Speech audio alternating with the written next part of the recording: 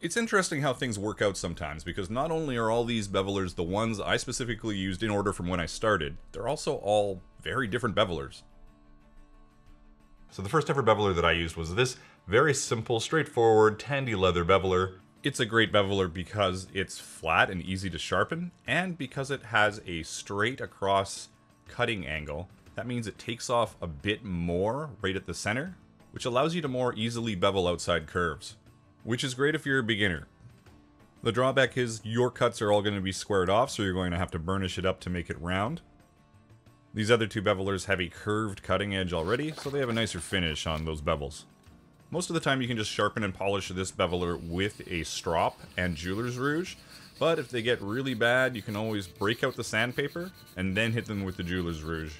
All I had kicking around here was 600 grit sandpaper, which was fine, but usually I'll want at least 800 or higher.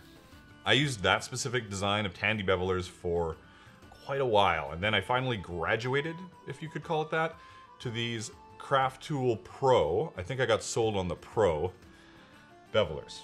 Not a huge fan of how these look.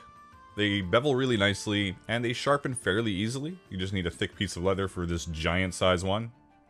And all you're doing is beveling your edge, using your jeweler's rouge on the edge, and then stropping it back in the same shape as it just beveled.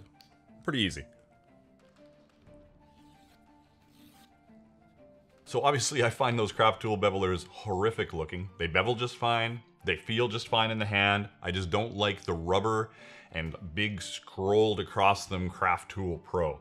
It just makes them look cheap to me, even if they aren't. So when I discovered these incredible works of art from Owden, all I had to hope was that they beveled as good as they looked. Now remember, as usual, I will have links to all the tools from this video down below in the description, and as an added bonus, uh, checking out those links helps this channel out. Owden sells a specific sharpener just for these that I assume can be used on all sorts of other bevelers, so if you have a keen beveler, which is for me a beveler with a groove, it's probably because I saw that at Tandy Leather first, it was called a keen beveler. I don't know if that's even actually what it's called. You may want to pick up one of these.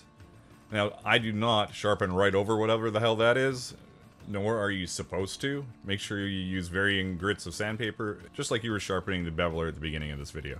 And on both of these, I'm just using a little bit of sewing machine oil. Use whatever oil you have lying around. I do end up flipping it over at the end and giving it one strop, just to make sure there's no burrs. Smooth like butter. Now here's the little trick I have for you guys, especially if you're using thin straps and trying to get your bevel and they're weaving all over the place, all you need to do is lock a straight edge down onto the side of your table and use that.